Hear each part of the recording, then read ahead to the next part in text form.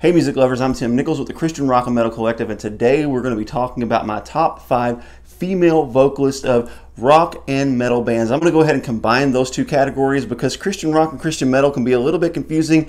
I've made a couple videos in the past and I've confused some folks with this is metal or this is rock. So we're just going to go ahead and put them together and give my top five with two honorable mentions. So we're going to start off with number five, and that is Tricia Brock with Superchick. They made some amazing music back in the day. Now, they haven't been in action for several years, but they had several great albums, and this was one of my favorites. My favorite song from Superchick is Hero outstanding stuff. Super vocals, amazing rock band. If you don't have one of their CDs, I recommend that you find one and check them out. Coming in at number four is probably a band most of you have never heard of because they only put out one CD, and this was about 12 years ago in 2012. But this is end of September with Aaron Redden. And this is an Alterium Records label, so this is more of a European band, but they have an amazing sound. She has amazing vocals. The song Isolated on this album is my absolute favorite track. This is some good stuff. Check out Alterium Records and get you some end of September. Epic stuff. Coming in at number three is Leah McHenry of the band Leah. She has those haunting, kind of harrowing vocals that just grab you and pull you in. It almost has like a Celtic feel to it, but it's more of a melodic metal.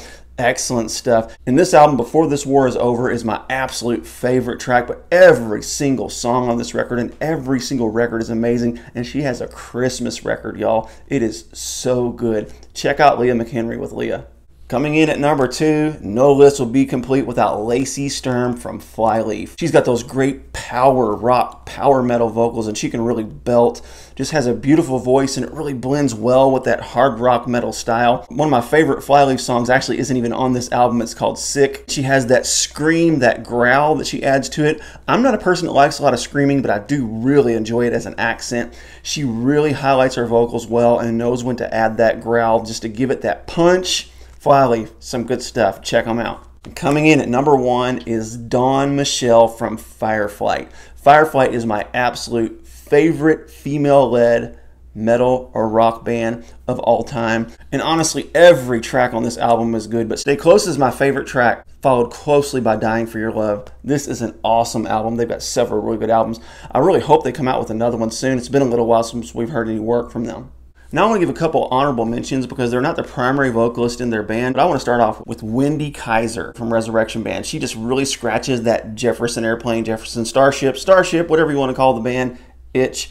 Really does a great job with the songs that she leads and really adds some great accents behind Glenn Kaiser's voice. Wendy Kaiser is an excellent vocalist, really fits perfectly with that late 70s, early 80s flair. Just an outstanding vocalist. Even on this first album, Awaiting Your Reply, she provides some great powerful vocals on this, and I absolutely love her voice. And then, of course, with Skillet, Jen Ledger. Jen Ledger is just amazing, playing the drums and singing at the same time. Awesome drummer, awesome vocalist.